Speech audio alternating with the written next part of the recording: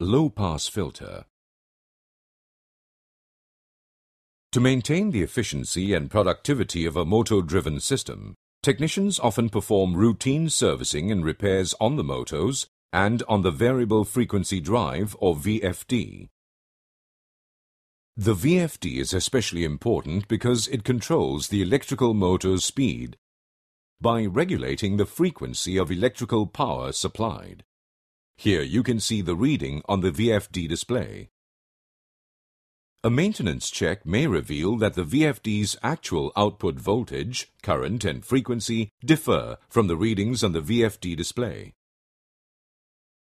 This difference could be due to unwanted high-frequency components generated by the VFD. The U1270 series handheld offers a 1 kHz low-pass filter to eliminate unwanted high-frequency components, allowing technicians to accurately measure VFD output.